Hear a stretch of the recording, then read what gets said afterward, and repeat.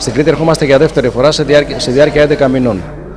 Ε, ανάλογα με τα μέσα που έχουμε, τα χρηματοοικονομικά και τους ανθρώπινους πόρους, ε, από την πλευρά μας, το Γραφείο του Ευρωπαϊκού Κοινοβουλίου υλοποιεί την κατά προτεραιότητα στρατηγική του Ευρωπαϊκού Κοινοβουλίου για να αυξήσει όσο γίνεται την ε, άμεση επαφή ε, με τους εκπροσώπους του τύπου και των μέσων μαζικής επικοινωνίας, ιδιαίτερα της περιφέρειας.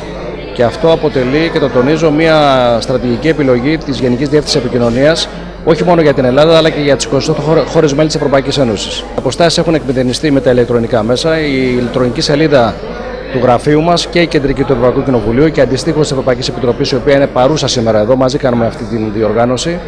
Ε, είναι πληρέστατη από πλευράς πληροφοριών. Ε, νομίζω ότι υπάρχει μια συστηματική προσπάθεια από την πλευρά των αρμοδίων υπηρεσιών ε, των θεσμικών οργάνων να διευκολύνει εσάς, τους δημοσιογράφους, όσο γίνεται στη δουλειά σας. Και σήμερα οι συνάδελφοι θα παρουσιάσουν ε, ακριβώς το περιεχόμενο αυτών των υπηρεσιών ε, και πώς μπορείτε καλύτερα να εξυπηρετηθείτε.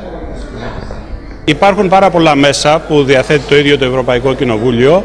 Θα μπορούσε κανείς ε, και οι δημοσιογράφοι βεβαίως και οι πολίτες να παρακολουθήσουν απευθείας τις συνεδριάσεις του Ευρωπαϊκού Κοινοβουλίου είτε στην Ολομέλεια είτε στις Επιτροπές μέσα από το Web TV του ίδιου του Ευρωπαϊκού Κοινοβουλίου.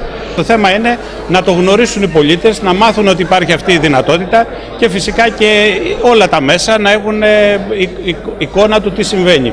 Αυτή η συνάντηση πιστεύω ότι είναι σημαντική γιατί θα δώσει την ευκαιρία στην, ε, στο γραφείο του Ευρωπαϊκού Κοινοβουλίου εδώ στην Αθήνα μαζί και με ευρωβουλευτές ε, να ενημερώσουμε το πώς μπορεί να γίνεται η ενημέρωση, πώς μπορεί να λαμβάνετε αυτή την ενημέρωση άμεσα και πώς εσείς οι ίδιοι με το δικό σας τρόπο θα συμβάλλετε ε, στον, στο να περάσετε αυτή την πληροφόρηση και να ασκήσετε φυσικά και τη δική σας κριτική Νομίζω ότι θα πρέπει να μας προβληματίσει και μόνο το γεγονός ότι χρειαζόμαστε ακόμα σεμινάρια για τους τρόπους με τους οποίους θα έρθουμε σε επαφή με το Ευρωπαϊκό Κοινοβούλιο. Αυτό και μόνο λέει πολλά.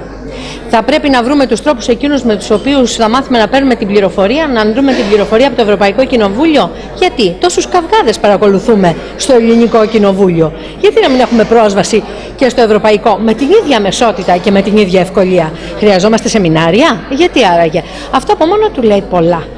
Πάντως, όπως και να έχει, η σημερινή διαδικασία έχει ενδιαφέρον. Θα αντλήσουμε πληροφορίες χρήσιμες για τους τρόπους με τους οποίους μπορούμε να αντλούμε πληροφορίες από τα τεκτενόμενα μέσα στο Ευρωπαϊκό Κοινοβούλιο.